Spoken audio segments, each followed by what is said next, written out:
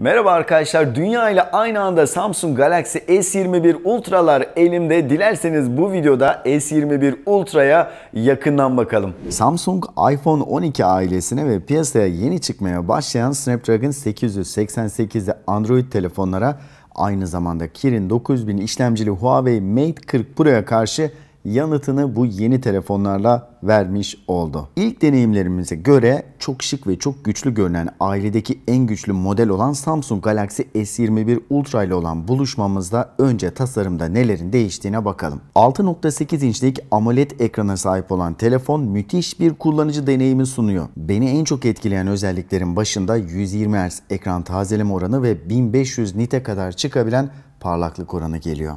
HDR10 Plus destekli ekran özellikle ara birimde dolaşırken ya da sosyal medyada gezerken çok ama çok keyif veriyor. Önceden sadece Full HD Plus'ta sunulan 120 Hz deneyimi artık daha yüksek çözünürlükte de sunuluyor. Sürekli 120 Hz değil dinamik olarak sunulan bu ekran özelliği sayesinde pil performansı da korunuyor. Tabii ki bu sonuçları nasıl veriyor? Daha da güçlenen işlemci platformu sayesinde. Birazdan işlemci hakkında daha fazla bilgi vereceğim. Ekran çözünürlüğü Quad HD yani 1440 x 3200 pikselden bahsediyoruz. İnç başına düşen piksel yoğunluğu da 516. Bu değerler yeni nesil bir amiral gemisi için gerçekten çok iyi. Ekran Corning Gorilla Glass Victus ile korunuyor. Yani şu an piyasada bulunan en dayanıklı ekran koruma teknolojisi diyebiliriz. Siyah telefonlar genelde çok parmak izi bırakıyor ama bu modelde bir sıkıntı görmedim. O nedenle daha önceden farklı renklerde tavsiyelerde bulunuyordum ama bu modelin siyah rengi gerçekten çok iyi duruyor. Kılıf konusunda da birazdan bir sürprizim olacak. Kullandığım bu modelin mühendislik örneği olduğunu belirteyim. Türkiye'de satışa çıkan telefonlar şu anda kullandığım bu modelden daha güncel yazılımla satışa çıkabilir. Peki bu kullandığım modelde hangi yazılım ve ara birim var? Bu konu hakkında bilgi vereyim. Android 11 yani en güncel Android işletim sistemi var. Aynı zamanda Samsung'un en yeni ara birimi olan One UI 3.1 bu telefonda mevcut. Gelelim işlemciye. Çin, Kore ve Amerika'da Qualcomm Snapdragon 888 işlemci platformuyla satılan Samsung Galaxy S21 Ultra bizim ülkemizde ve Avrupa ülkelerinde Exynos 2100 işlemcisiyle piyasada olacak. Her iki işlemci arasında ne kadar fark var bunu ilerleyen zamanlarda sizin de talep etmeniz halinde tabii ki kıyaslayıp paylaşacağız. Bu arada hızlı video için bize destek olmak isterseniz videoyu beğenmeyi unutmayın. Dünya ile aynı anda inceleme ve kıyaslama videolarından haberdar olmak için de kanalımıza abone olabilir, bildirimleri açabilirsiniz. Tabii ki şu ana kadar abone olan ve destekleyen herkese sonsuz sevgiler. Yeniden devam edecek olursak telefonlarda artık micro SD kart yuvası olmayacak bilgisini aldık. Ben kullanmadım, kullananı da görmedim Samsung'un amiral gemisi modellerinde. O nedenle tüketiciler zaten yeterli buldukları dahili hafızalardan dolayı bu seçeneği pek tercih etmediler. Samsung da artık kullanmayacak. Dahili depolama konusunda 128 GB, 256 GB ve 512 GB'lık seçenekler var. Normalde 12 GB RAM'e sahip olan bu modellerde 512 GB'lık olan modele özel 16 GB RAM seçeneği de mevcut. Dosyaların hızlı okunması ve yazılması için UFS 3.1 teknolojisi de bu telefonda destekleniyor. En çok merak edilen konuya gelelim. Tabii ki kameralara. Kameraların tasarımları biraz daha farklılaşmış durumda. 2021'de ben buradayım diye bağıran büyük kameralar ve onların çerçeveleriyle bol bol konuşacağız gibi duruyor. Kameraların alüminyum çerçevesi bu telefonda gerçekten çok şık görünüyor. Telefonun ana kamerası ikinci nesil 108 megapiksel çözünürlüğe sahip olan aynı zamanda f1.8 diyafram açıklığı ve 26 milimetrelik 1 bölü 1.33 inç gibi çok büyük bir sensöre sahip. Tabii ki bu sensör düşük ışıkta çok iyi sonuçlar veriyor. Lazer otofokus ve optik imaj sabitleme yeteneği bu ana kamerada mevcut. Bir diğer kamera 10 megapiksel çözünürlüğe sahip olan f4.9 diyafram açıklığına sahip olan periskop telefoto lens. Optik imaj sabitleyici özelliğine sahip olan bu lens 10x optik zoom yapabiliyor. Bir diğer telefoto kamera yine 10 megapiksel çözünürlüğe sahip ve f2.4 diyafram açıklığı mevcut. Yine optik imaj sabitleyici özelliği bulunan bu lensin 3x optik zoom özelliği de mevcut. Diğer kameramız ise 12 megapiksel çözünürlüğünde ve f2.2 diyafram açıklığındaki ultra geniş açılı kamera. Bu kamerayla 120 derecelik açıyı tek bir kareye kaydedebiliyoruz. Aynı zamanda Super Steady video çekeceksek eğer yani çok hareketli ortamlarda bile titremeyen videolar çekeceksek bu lensi kullanacağız. Samsung'un kendi tarihinde bir ilk. Nedir o ilk? Tüm kameralar 4K ve 60 fps video kaydı yapabiliyor artık. Buna 40 megapiksel çözünürlükteki f2.2 diyafram açıklığına sahip olan ön kamerada dahil. Yani ultra geniş açılı ve telefoto lenslerle de 4K 60 fps çekebileceğiz.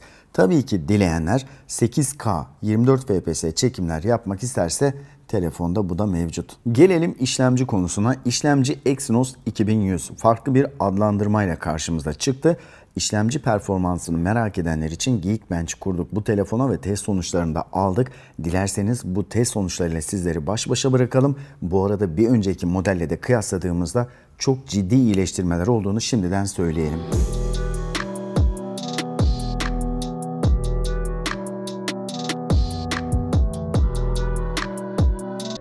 Yeniden kameraya dönecek olursak kameranın ara biriminde bazı değişiklikler var. Örneğin daha önceden canlı odak adıyla geçen kelime nihayet portre olarak değişti.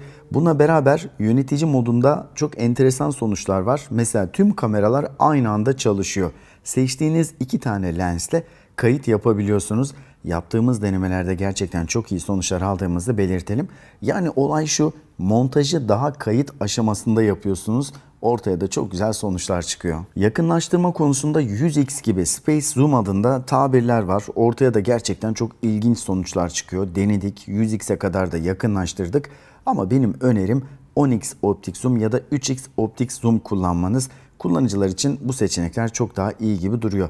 Bu arada 100x zoom sırasında çerçeve sarıya döndüğünde lens kilitleniyor. Yani o sarıyı gördüğünüzde çekmiş olduğunuz fotoğraflar çok daha iyi sonuç çıkartacak kaliteli çekimler için size yardımcı olacak. Dilerseniz çekmiş olduğum birkaç örnek fotoğrafla sizleri baş başa bırakayım.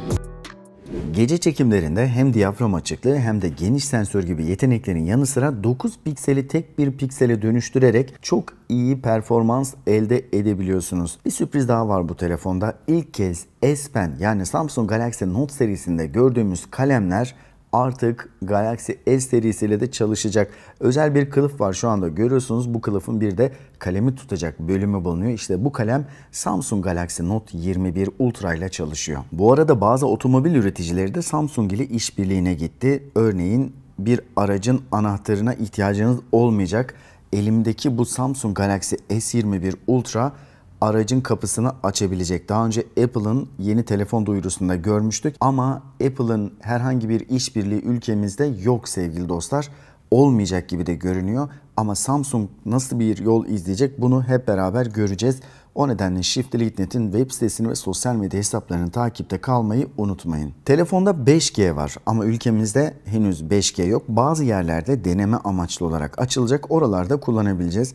Ama bununla beraber çok sevineceğiniz bir bağlantı teknolojisi var. O da Wi-Fi 6E. Şimdi bu Wi-Fi teknolojisi biliyorsunuz gelişti. Wi-Fi 6 ile beraber çok hızlandı. Mesela 6.5 GB'lık bir oyunu Wi-Fi 6 ile beraber 31 saniyede indirebiliyoruz.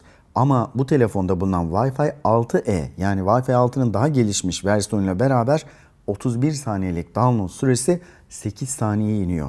6,5 GB'ı 8 saniyede indirebileceğiz. Tabii ki bunun için evimizde Wi-Fi 6E destekleyen bir modem ya da router olması gerekiyor. Telefonun AKG ile beraber geliştirilen stereo bir hoparlörü var. Bu hoparlör oldukça güçlü ses veriyor. Bu arada telefonda 5000 mAh batarya var. Şimdi çok büyük bir sürprizle sizleri baş başa bırakacağım. Çünkü telefonun içerisinden şarj aleti, kulaklık, gibi aksesuarlar çıkmıyor. 25 watt gücündeki hızlı şarj adaptörünü satın almanız gerekiyor. Eğer satın alırsanız da 30 dakikada %50 şarj yapabiliyorsunuz. Kutunun içerisinden her iki ucu Type-C olan bir kablo çıkıyor ama adaptör ve kulaklık çıkmıyor maalesef. Bu arada aldığım bilgilere göre ilk satış duyurularında kulaklık ve adaptör konusunda bazı kampanyalar olacak. Yani bu kampanyalara katılarak bu aksesuarları ücretsiz edinebileceksiniz. Heyecanımız hala üzerimizde. Samsung Galaxy S21 Ultra ile buluştuk öne çıkan özelliklerini sizlerle paylaştık. Siz de bu videoyu beğenmeyi ihmal etmeyin. En beğendiğiniz özellikleri veya varsa eleştirilerinizi aşağıda yazmayı unutmayın sevgili dostlar. bize baya bir iş çıktı. Çünkü bu telefonlarla detaylı incelemeler çekeceğiz, kıyaslamalar çekeceğiz. Önerdiğiniz videoları aşağıda yazmayı unutmayın. Bol bol çalışacağız. Hoşçakalın.